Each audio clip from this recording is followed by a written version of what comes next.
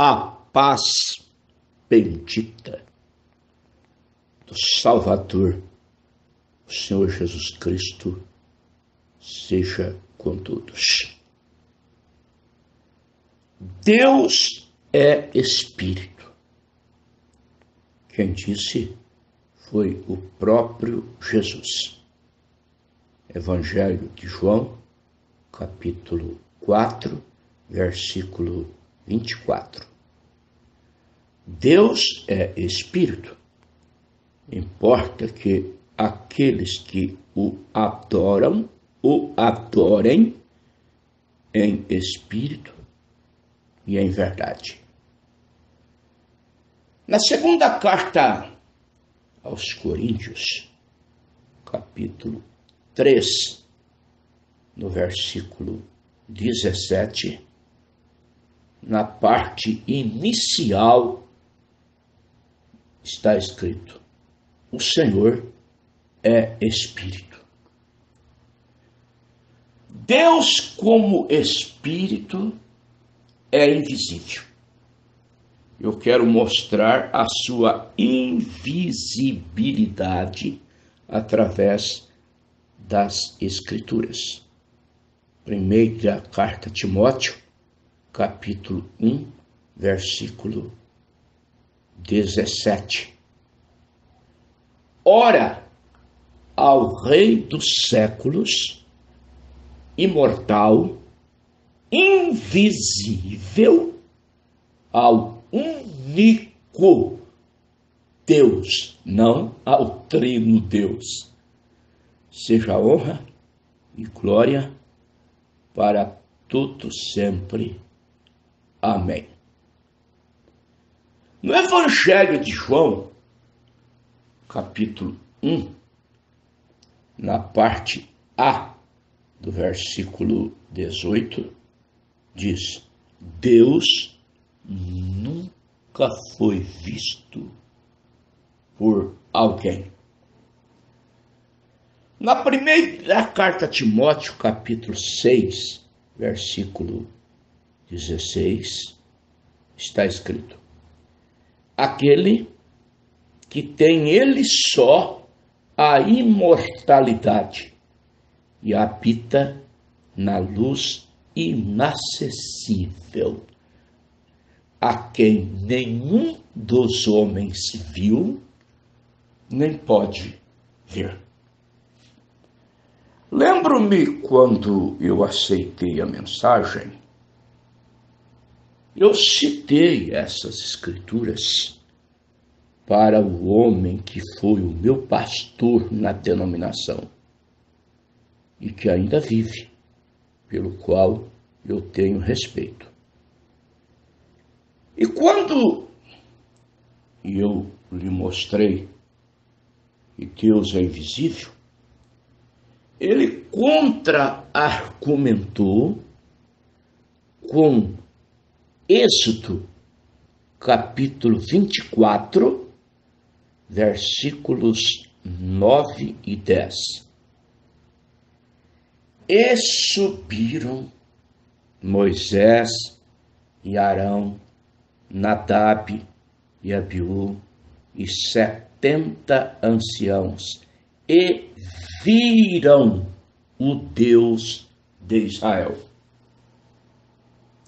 Olha, se a Escritura diz que Deus é invisível, que Deus nunca foi visto, porque aqui ela menciona que Moisés, Arão, Nadab, Abiú, setenta anciãos viram o Deus de Israel.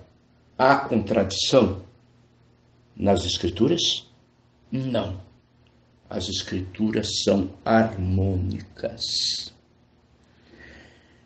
Deus nunca foi visto fora de um corpo, como espírito.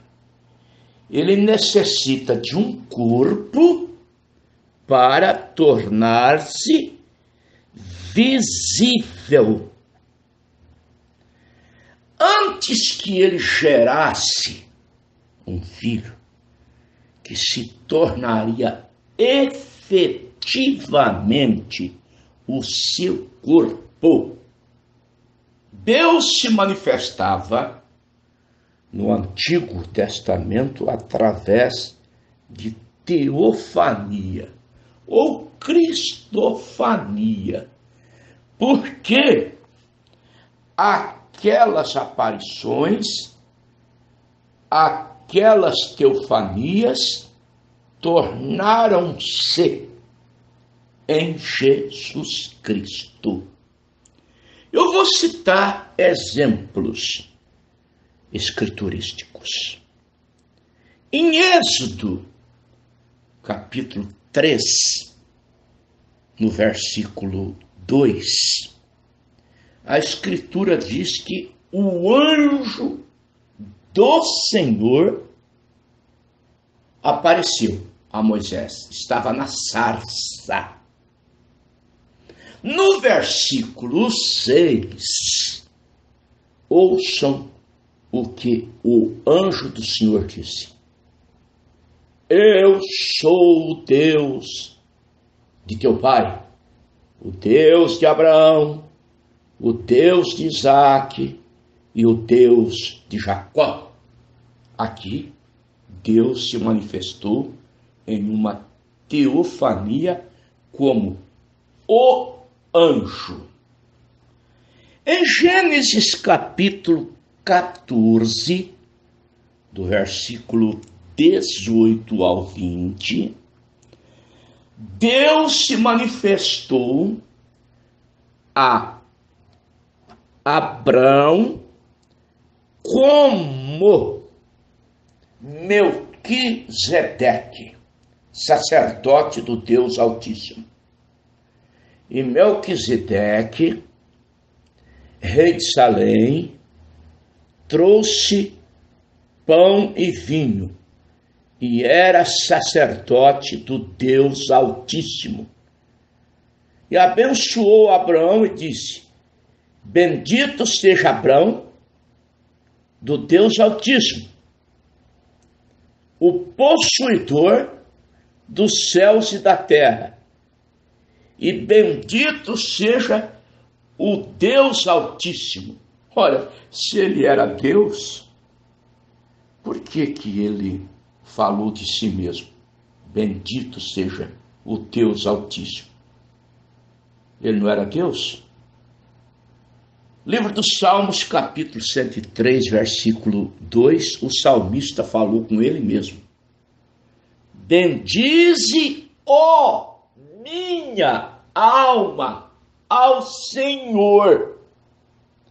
Ele falava consigo mesmo, com seu interior.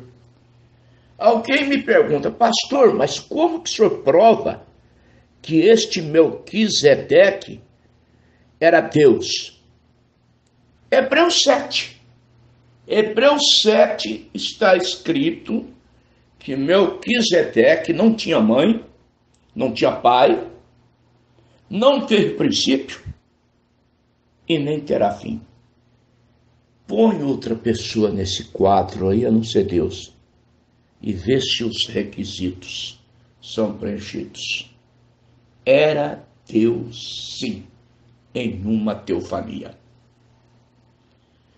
Em Josué, capítulo 5, versículos 13 e 14, está escrito assim: E sucedeu que, estando Josué ao pé de Jericó, levantou seus olhos e olhou, e eis que se pôs em pé diante dele um homem que tinha na mão uma espada nua.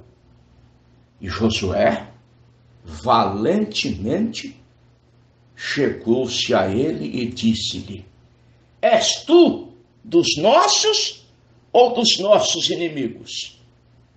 Ouçamos o que aquele homem respondeu. Não, mas venho agora como príncipe do exército do Senhor. Então Josué se prostrou e o adorou. Que, é que vocês pensam que era aquele homem? Deus em uma teofania. Porque se não fosse Deus, Josué o teria adorado. Se fosse simplesmente um anjo, teria aceito a adoração. Mateus 4, 10. Ao Senhor teu Deus adorarás e só a Ele servirás. Em Juízes capítulo 13, do versículo 17 ao 18, Manoá, que se tornou pai de Sansão, perguntou ao anjo do Senhor: Qual é o teu nome? Para que quando se cumprir a tua palavra te honremos. E o anjo lhe disse: Por que perguntas pelo meu nome? Visto que é maravilhoso. Oh, glória a Deus! Leia Isaías capítulo 9, versículo 6. Seu nome será maravilhoso. Ali era Deus em uma teofania. Todas essas manifestações,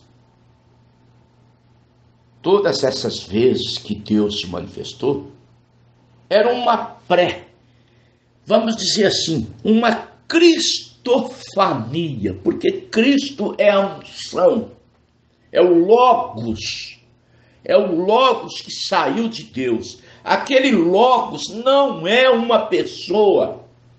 O Logos não se define assim: o Pai, uma pessoa, o Logos, o Filho, outra, concomitantemente, trabalhando com o Pai. Isso é conceito trinitário. Isso é conceito trinitário. Tem gente se baseando em afirmações do irmão Brana que foram feitas na década de 50 e que posteriormente foram corrigidas nos selos. Vamos lá. Primeiro selo Primeiro selo, tradução a voz de Deus. Parágrafo 15. Eu achava, anos atrás, que talvez Deus estivesse irado comigo, mas que Cristo me amava. Vim descobrir que Deus e Cristo é a mesma pessoa. Ah, meus queridos irmãos, nós vamos chegar em Gênesis 1, 26, nessa série, a incógnita de Gênesis 1, 26, com quem Deus disse façamos o homem. Nós vamos chegar lá. E eu tenho Bíblia, eu tenho mensagem, Deus me deu recursos. Na mensagem, quem é este Melquisedeque? Parágrafo 43. Que coisa mais maravilhosa! Deus em morfe, mascarado, numa coluna de fogo. Ali também era teofania. Deus imorfe em um homem chamado Jesus. Deus imorfe em sua igreja. A deidade em seres humanos.